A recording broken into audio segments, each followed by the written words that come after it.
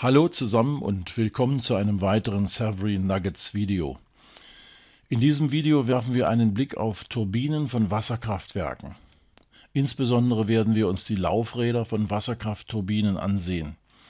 Wir werden den Kaplan-Typ, den Francis-Typ und den Pelton-Typ kennenlernen. Es werden einige ihrer typischen Anwendungen vorgestellt. Es wird gezeigt, mit welchen Drücken bzw. Fallhöhen und welchen Volumenströmen diese Turbinen arbeiten und was die Gründe dafür sind. Wir werden kurz auf Dinge wie Impuls- und Reaktionsturbinen eingehen und lernen, was die Begriffe Impuls und Reaktion bedeuten. Bevor wir jedoch in das Video einsteigen, muss ich betonen, dass die Begriffe Turbine und Turbinenlaufrad oft synonym verwendet werden.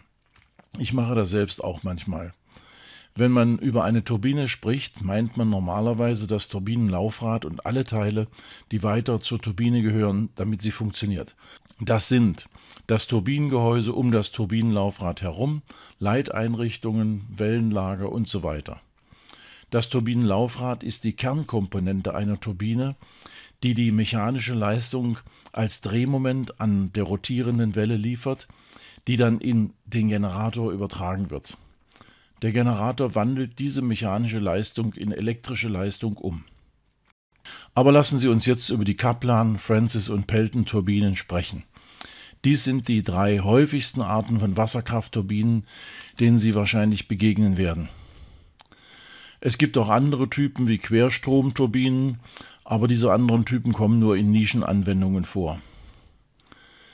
Die drei Typen, die Sie in der Wasserkraftindustrie insbesondere bei großen kommerziellen Anwendungen finden, sind die Typen Kaplan, Francis und Pelton. Aber warum gibt es drei Typen von Turbinen in Wasserkraftwerken?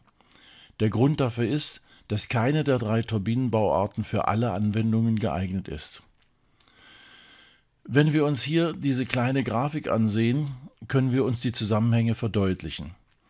Wir sehen hier farblich gekennzeichnet die Einsatzbereiche der verschiedenen Turbinentypen. Auf der y-Achse haben wir die Fall- oder Kopfhöhe, also den Niveauunterschied zwischen dem Ober- und Unterwasser in Metern. Auf der x-Achse haben wir den Volumenstrom, auch Durchsatz genannt, der in Kubikmetern Wasser pro Sekunde gemessen wird. Beachten Sie bitte, dass die Achsen logarithmisch, also nicht linear, geteilt sind. Im Diagramm sieht man einige 3D-Modelle von Turbinenlaufrädern, die in bestimmten Bereichen des Diagramms platziert sind. Diagonal von links oben nach rechts unten sehen wir gepunktete Linien. Diese zeigen die Turbinenleistung in Megawatt an. Die gestrichelten Linien deuten also an, wie viel Strom wir mit den verschiedenen Arten von Wasserkraftturbinen erzeugen können. Schauen wir also jetzt genauer hin. Am unteren Rand des Diagramms haben wir eine horizontal ausgerichtete Kaplan-Turbine. Eine Kaplan-Turbine sieht einem Propeller sehr ähnlich. Man kann bei einer Kaplan-Turbine die Steigung, das heißt den Anstellwinkel der Turbinenschaufeln einstellen. Durch das Verändern des Schaufelwinkels bzw. der Steigung können wir die Turbine an verschieden große Volumenströme anpassen und die erzeugten Strommengen regulieren. Horizontale Kaplan-Turbinen werden für sehr niedrige bis ziemlich hohe Durchsätze verwendet. Wie in unserer Grafik zu sehen ist, geht das bei dieser Art von Turbinen von etwa 1 Kubikmeter pro Sekunde bis etwa 200 Kubikmeter pro Sekunde. Darüber hinaus können wir, wenn wir hierüber schauen, eine Fallhöhe von bis zu 30 Metern nutzen. Die Fallhöhe ist der Höhenunterschied zwischen dem Ober- und dem Unterwasserniveau, das sich im oberen bzw. unteren Becken befindet. Das gilt für Kaplan und Francis Turbinen. Bei Pelton-Turbinen ist es die Höhe zwischen dem Niveau im oberen Becken und dem Einbauort der Turbine. Es wird deutlich, dass die horizontal ausgerichtete Kaplan-Turbine einen recht eingeschränkten Bereich bezüglich der Fallhöhe hat, mit dem man arbeiten kann. Die grün gepunktete Linie endet hier, das ist ziemlich weit unten im Diagramm. Wenn wir eine vertikal ausgerichtete Kaplan-Turbine wie diese hier verwenden, können wir mit größeren Fallhöhen arbeiten. Dabei können wir auch viel größere Volumenströme bis zu 1000 Kubikmetern pro Sekunde verwerten. Im Allgemeinen werden Sie den horizontal ausgerichteten Typ in Fluss- oder Gezeitenkraftwerken finden. Das sind Anwendungen, bei denen man sehr große Volumenströme bei vergleichsweise geringen Fallhöhen hat. Die Anwendungsmöglichkeiten für eine vertikal ausgerichtete Kaplan-Turbine sind größer. Aber Sie werden feststellen, dass sich dieser rote Bereich ziemlich stark mit dem blauen Bereich überschneidet. Das bedeutet, dass wir sowohl eine Francis-Turbine als auch eine vertikal ausgerichtete Kaplan-Turbine einsetzen könnten. Es hängt jedoch von der Anwendung und davon ab, welche Turbine für diese spezielle Anwendung am effizientesten ist. Sie sehen, dass Francis-Turbinen über einen großen Durchsatzbereich und auch über einen großen Fallhöhenbereich einsetzbar sind. Sie sind also für viele verschiedene Anwendungen geeignet. Aus diesem Grund können die Schaufeln von Francis Turbinenlaufrädern sehr unterschiedlich aussehen, je nachdem für welche Anwendung sie konstruiert wurden. Sie können ziemlich breit und dünn sein oder fast quadratisch sein. Die Geometrie des Francis Laufrades hängt von der Fallhöhe und vom Volumenstrom ab, mit dem es betrieben wird. Das Besondere an Francis-Turbinen ist die Tatsache, dass sie sowohl als Pumpen als auch als Turbinen verwendet werden können. Deswegen können wir sie in einem sogenannten Pumpspeicherwerk einsetzen. In diesen Wasserkraftwerken kann Wasser von einem oberen Reservoir in ein unteres Reservoir fließen, dabei wird Strom erzeugt. Es kann aber auch umgekehrt Wasser unter Aufwendung von Elektroenergie aus dem Netz wieder nach oben gepumpt werden. Diesen Zyklus kann man ständig wiederholen, je nachdem, ob Strom benötigt wird oder ob Stromüberschuss im Netz vorliegt. Wann haben wir Stromüberschuss im Netz? Nun, stellen wir uns für einen Moment vor, es ist sehr sonnig und es ist sehr windig. Dann werden alle erneuerbaren Energiequellen viel Strom erzeugen und ins Netz einspeisen. Wir können einen Teil dieser Energie direkt verbrauchen, aber eben nur so weit, wie der Bedarf vorhanden ist. Der Überschuss an Elektroenergie muss gespeichert werden. Eine gute Lösung dafür sind Pumpspeicherkraftwerke. Wenn diese Wasserkraftwerke sinnvoll eingesetzt werden, verbrauchen wir den Strom, wenn er günstig ist, und wir erzeugen den Strom dann, wenn er im Stromnetz nachgefragt wird und er mehr Geld kostet. Und so machen wir einen Gewinn kaufen zu einem niedrigen Preis und verkaufen zu einem hohen Preis.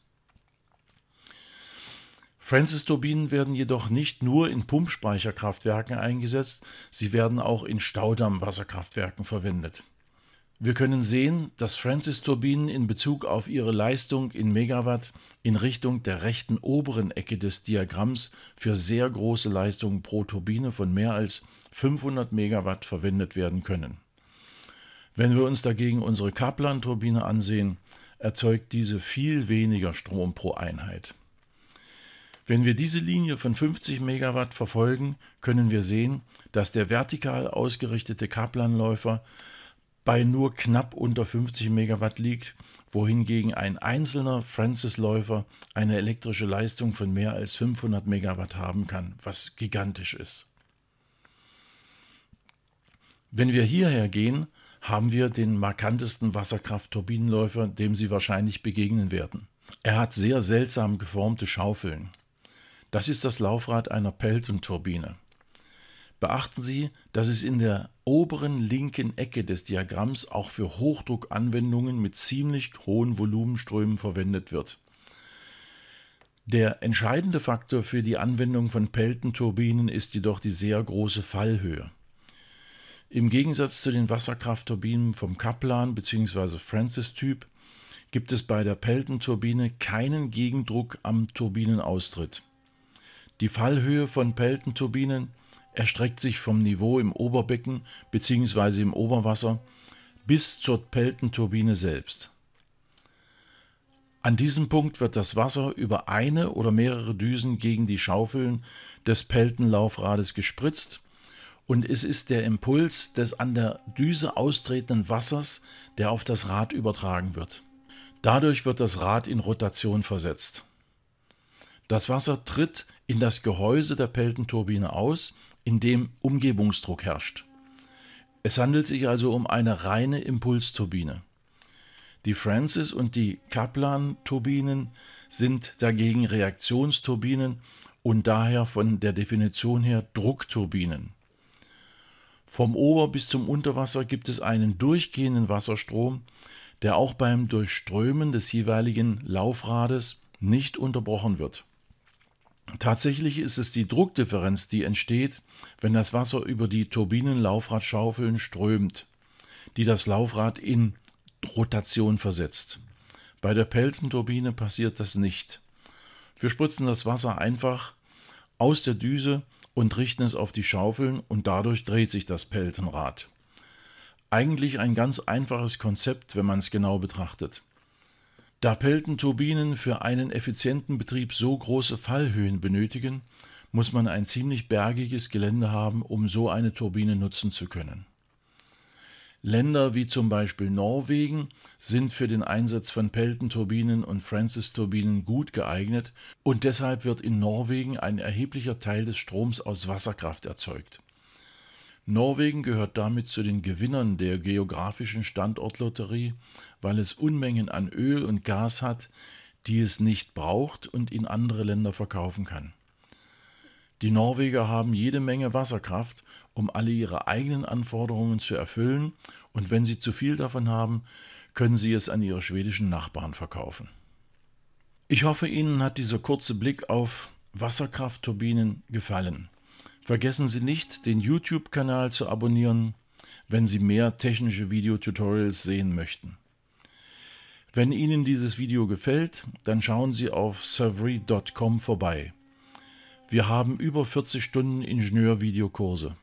Wir decken Themen ab wie Wasserkraft, Fahrzeugtechnik, Maschinenbau, Elektrotechnik und wir haben noch ein bisschen Klima- und Chemietechnik dazu gemischt. Wenn Sie dieses Video in sozialen Medien teilen oder Ihren Freunden von diesem YouTube-Kanal erzählen möchten, freuen wir uns sehr darüber.